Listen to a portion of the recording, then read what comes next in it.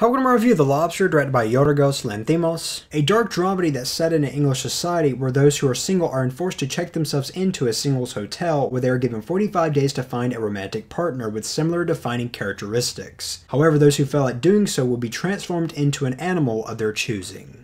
The Lobster is among the films that were nominated for the Palme d'Or at the Cannes Film Festival, however, it did win the grand prize at Cannes. And The Lobster stars Colin Farrell, who plays David, who is among the people who were taken to the hotel. And the reason why the movie is titled The Lobster is because that is the animal he chose, because of reasons being that they live long lives, they stay fertile up until death, and they're blue blooded like aristocrats. Needless to say, it's a pretty absurd concept, mostly because of our somewhat absurd view on relationships romance. Now, of course, biology does have a huge influence on attraction and the desire to be sexually active. But how much of that is really biological and how much of that is it of the individual trying to find somebody to connect with? In other words, in search of the old LOVE, and the movie poses many questions regarding that. And another question similar to the last one is how much of it is biology and how much of it is actually external factors such as society and culture. The need to continuously be in romantic relationships is very much harpooned in our heads as if not being in one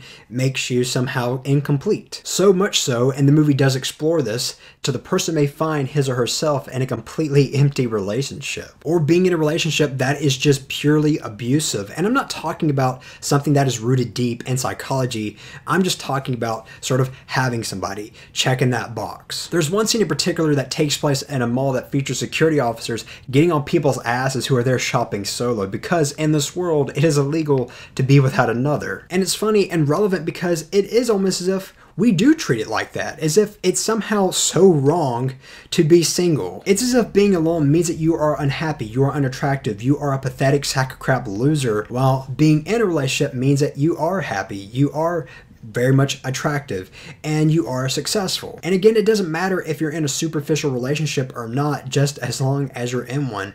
And in my opinion, this is a great piece of satire. Though that's not to say that the movie is just completely chastising the idea of love, it's more or less chastising our just overwhelming emphasis on the whole thing. Because humans, in a general sense, are sociable beings, and therefore we do have that desire to connect, to be loved, and to love another. That does grant a form of happiness or self fulfillment. However, if you don't, that doesn't mean you're going to be transformed into a fucking lobster or something. Now, one thing that I haven't really been talking about is the film itself, and although everything I've said definitely coincides with the film and my thoughts of the film, I do want to talk about the actual film, starting with the world. As I've already stated, it is illegal to be without a partner in this world. It doesn't matter if the person died or maybe the two of you broke apart. If you are single, you have to check yourself into the hotel where you are given, again, 45 days to basically find another mate. However, you are granted more days if you are successful at killing the loners who live in the woods. These are basically the rebels, you know, the people who have rejected the whole relationship thing. And when killing the loners in the woods, they are brought back to the hotel where they are later transformed into animals.